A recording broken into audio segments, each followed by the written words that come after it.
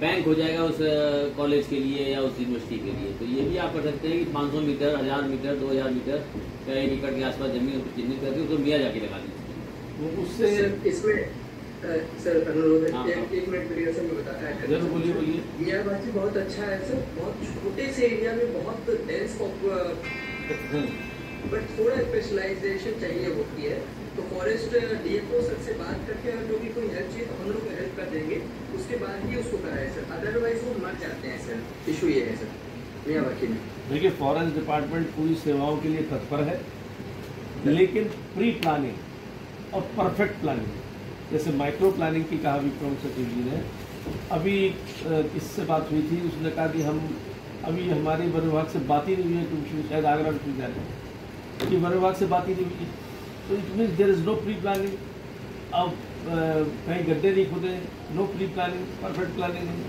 तो ये सब करना चाहिए ना, जब इतना बड़ा अभियान है और मानव जाति के लिए, आने वाली नस्लों के लिए हम कुछ करके जा रहे हैं, एक महायज्ञ करने जा रहे हैं तो उसमें हम सबको अब इसमें सिर्फ़ लक्ष्य बनाने से या कह देने से काम नहीं चलेगा। मॉनिटरिंग होनी चाहिए। अब आर जितने भी हैं वो तय करना कि मुझे इस इस संस्था में मॉनिटरिंग करनी है। अपने डायरेक्टरेट में अधिकारी लोग हैं। वो सब तय करना है इस ज़िले में हमें मॉनिटरिंग करनी है। और मॉनिटरिंग करें जाकर के, काम हो भी रहा है कि नहीं हो रहा है। क्योंकि 10 परसेंट तो जो पौधे मर चुके होते हैं, उनमें रीप्लांटिंग हो सकती है। वो देखें। तो अगर मॉनिटरिंग नहीं होगी तो ऑन पेपर सब कुछ हो जाएगा। इतना मेरा मानना है। तो हम लोग खुद जा रहे हैं, हमारे प्रमुख सचिव जी जा रहे हैं, हमारे और अधिकारी लोग जा रहे हैं तो आप लोग भी जाइए तय कर लीजिए। आप कितने अधिकारी हैं कि हम इतने भाग को देखेंगे या इन संस्था को देखेंगे। लेकिन मुझे ज़्यादा बेटर है कि एक एरिया एरिया आपस में बांट लें उस एरिया में जितने भी महाविद्यालय चाहे प्राइवेट महाविद्यालय हो चाहे विश्वविद्यालय प्राइवेट हो या सरकारी महाविद्यालय सरकारी विश्वविद्यालय एक मीटिंग डायरेक्टर साहब आप भी से जूम मीटिंग ले लीजिए। सभी महाविद्यालयों के सरकारी महाविद्यालयों के प्रिंसिपल्स की। और है उनको इसके लिए मोटिवेट करिए और सभी आर अपने क्षेत्र में आने वाले निजी विश्वविद्यालय और निजी महाविद्यालयों की मॉनिटरिंग कर लें तो एक मीटिंग ले लें जूम मीटिंग वहाँ से उनको मोटिवेट करिए। तो उससे हम लोग जो अपेक्षा हमसे माननीय मुख्यमंत्री जी कर रहे हैं उससे कहीं अधिक हम तो लक्ष्य भी प्राप्त कर सकते हैं और सिर्फ़ ये लक्ष्य प्राप्त करना उद्देश्य नहीं है इसमें। इसके पीछे उद्देश्य है कि आने वाली पीढ़ियों को कुछ ऐसा सौंप जाए जो अब हम भुगत रहे हैं अपनी पुरानी पीढ़ियों की गलतियों से। कि पर्यावरण बिगड़ गया, बिल्कुल वातावरण एक अनिश्चितता सा हो चुका है। वो सब में सुधार हो। तो इसमें आप सब लोगों को जुटना चाहिए। ग्राम सभाओं की भी इसमें मदद ले लेनी चाहिए। नदी, तालाबों के किनारे। आप अपने आपके एनसीसी के छात्र होंगे एनएसएस के छात्र होंगे। नदी, तालाबों के किनारे इनसे करके एक अभियान के तौर पर ले सकते हैं। ऐसे ही निजी महाविद्यालय मैंने बता ही दिया।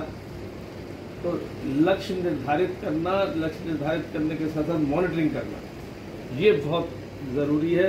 वरना लक्ष्य निर्धारित होगा पेपरों पर टारगेट निर्धारित होंगे पेपरों पर, लेकिन काम उसका उतना आउटपुट नहीं मिलेगा जितना हम अपेक्षा करते हैं या जितनी हमारी क्षमता है हम कर सकते हैं। तो उन क्षमताओं का पूरा पूरा उपयोग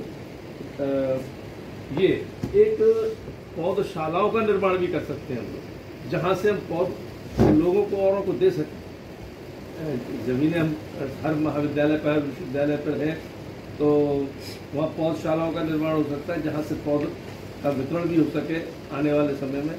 और सीड्स बॉल का निर्माण कर सकते हैं। आगरा नगर निगम ने सीड्स बॉल का निर्माण किया है और दो रुपये प्रति सीड बॉल वो सप्लाई कर रहे हैं। तो ऐसा भी कर सकते हैं। तो कोई योजना बनाता है यदि इस तरह का तो निश्चित रूप से वो प्रशंसा का पात्र है। इसके अलावा चूँकि हम शिक्षा क्षेत्र से जुड़े हुए लोग हैं तो हमारा काम है जन जागरण भी करना और जन जागृति पैदा करना।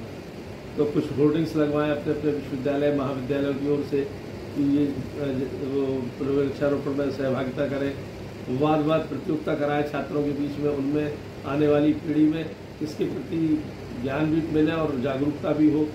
वाद वाद प्रतियोगिता के अलावा, चित्रकला प्रतियोगिता भी कराई जा सकती है, निबंध प्रतियोगिता कराई जा सकती है।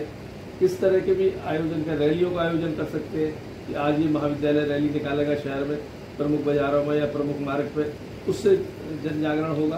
तो ऐसे आयोजन भी किए जा सकते हैं और ऐसे आयोजन के लिए हर विश्वविद्यालय को जरा कहिए कि अपने अपने आने वाले उनके क्षेत्र में आने वाले किसी महाविद्यालय को चयन करें या अपने उनके छात्रों को चयन करके एक रैली निकालें, कुछ और आयोजन करें, जिससे कि इसमें जन जागरण पैदा हो जन जागृति हो तो और हमारा काम सिर्फ़ स्वयं काम करना नहीं, जनता को भी साथ लेना, समाज को भी साथ लेना और जागरूक करना है, ये आप लोगों से अपेक्षा है।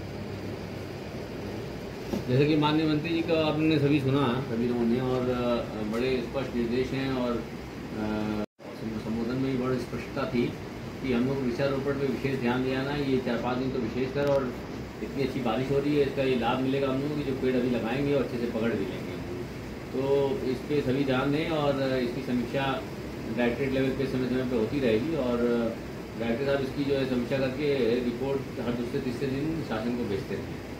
आप सभी का बहुत बहुत धन्यवाद और कोई अगर इशू हो कोई समस्या हो तो आप शासन से या डायरेक्टरेट से संपर्क कर सकते हैं। Thank you.